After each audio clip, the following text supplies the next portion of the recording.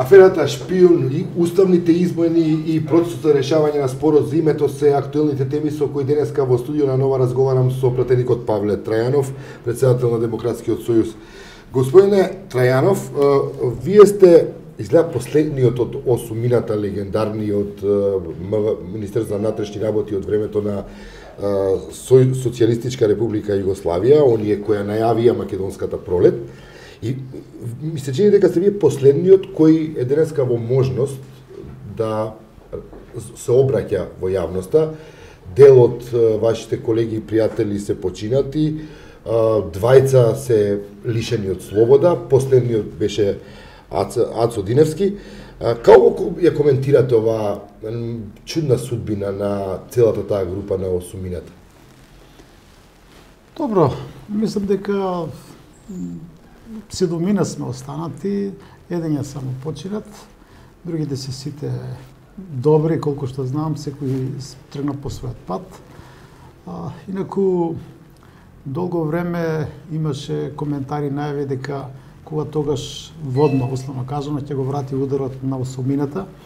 И за жал се случува во едно сосема друго време, во време кога владеа или владеат други политички партии, не, не СДСМ, не владеа водно, Некој коментира дека дека има силно влијание водно и натаму преку своите инсталации во новата власт.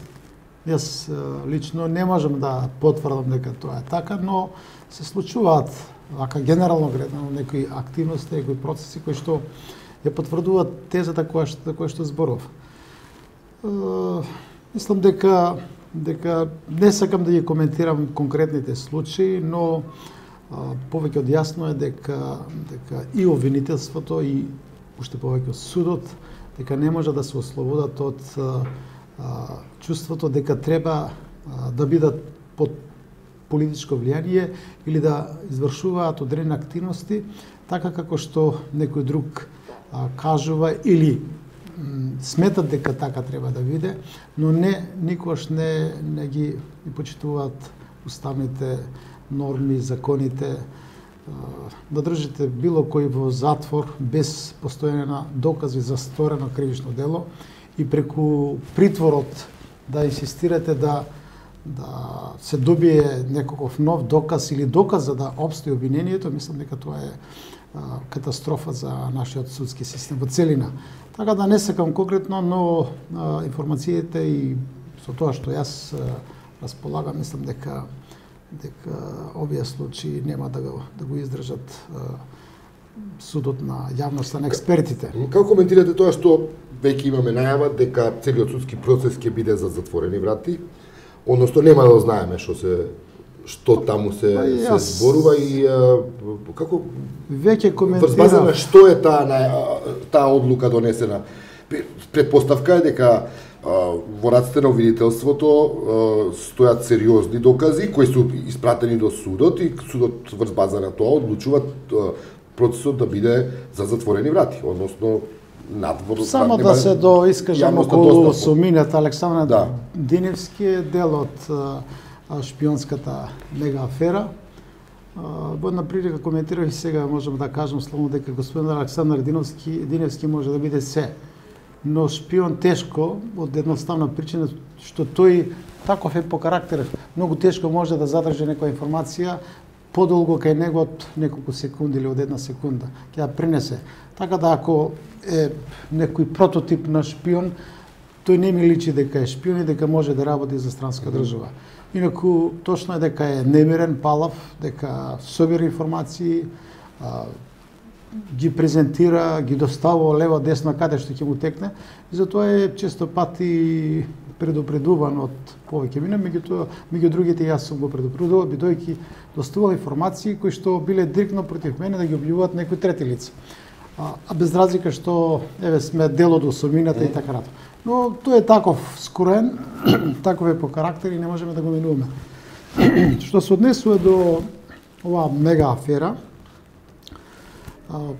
Мој став е дека бидејќи постапката почна на многу транспарентен начин, апсењето на 20 или 22 колку беа предходно на осумината во осумина во Велес или колку беа околу а, акцијата ликвидација, сега шпион, беше тоа транспарентно. Со стимено апсењето со камери, истите тие снимки беа презентирани на, на YouTube, че граѓаните се информираа, на тоа имаше повеќе пресконференции во кои што сосема прецизно, јасно беа презентирани обвиненијата практично за што се обвинуваат а, сите тие во меѓувреме имаше промена дека дел се само за шпионажа, дел за за уцена, Като изгледа, баш јасно но сите, зашто, дали- но сите да. се за заради злосторничко здружување.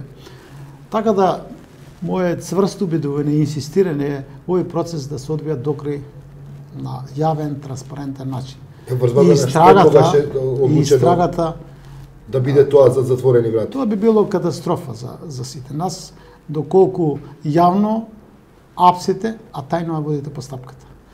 Ако се инсистираше на тоа дека ќе бидат обелодените класифицирани информации, тогаш нека се водеше целата постапка во тајност. Вака мислам дека треба да биде и истрагата јавна, да можат да да добиат информации новинарите преку нив и јавноста, но посебно претресот кога ќе се одвива, а, тогаш треба да биде јавен претресот, со тоа што има можност дел од претресот да се затвори тогаш кога ќе бидат презентирани некои класифицирани информации со висок степен на заштита, не знам, државна тајна и така натаму. Така да а, тоа го должиме сите ние и за јавноста, за експертите, за меѓународниот интерес, интерес за ова аферска афера шпион, шпионска афера. Се на се моје инсистирање да биде јавен целиот процес.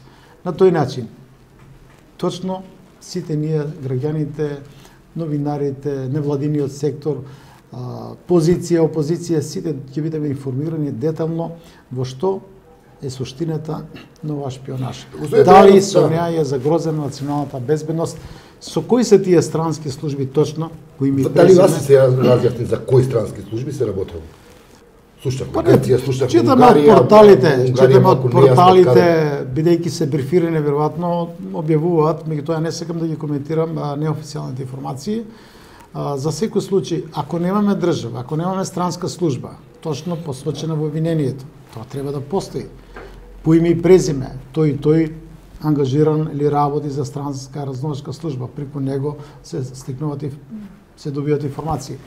Обвинението мора да биде е, подкрепено со цврсти, силни материални докази, бидејќи многу тешко се докажуваат овие кривични дела и затоа сите служби е, избегнуваат да да одат на суд Зборува, се, се зборува дека за овие дела. Да. оваа мрежа шпионска долго време била активна.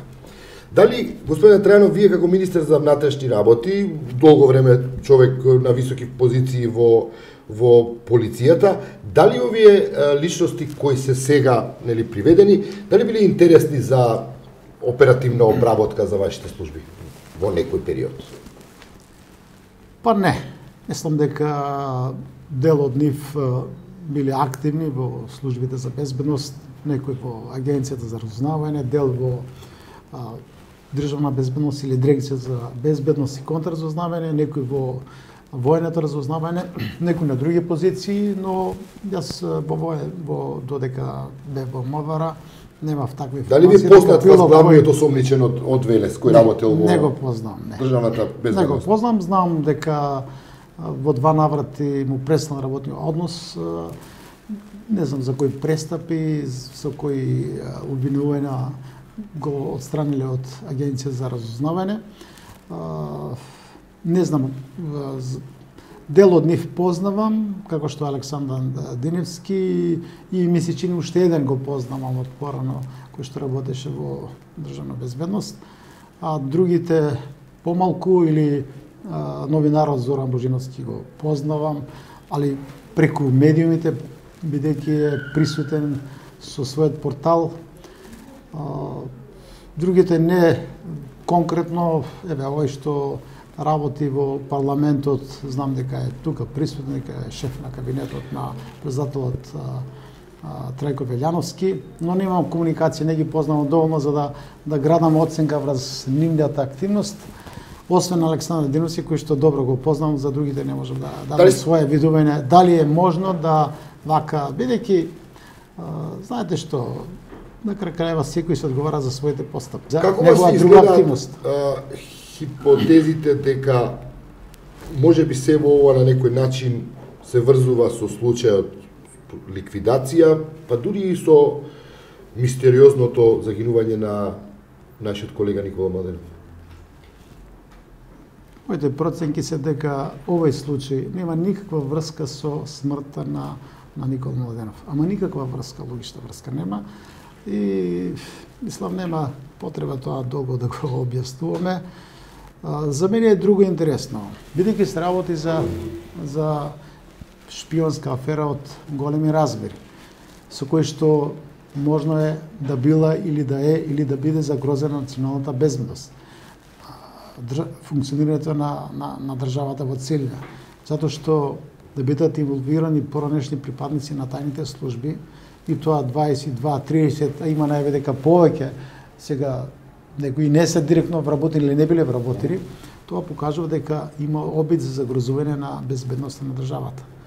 А, јас ова можам да го а, поврзам во контекст на тоа дека а, имаше најави после 24 декември дека спречен е обид за државен удар.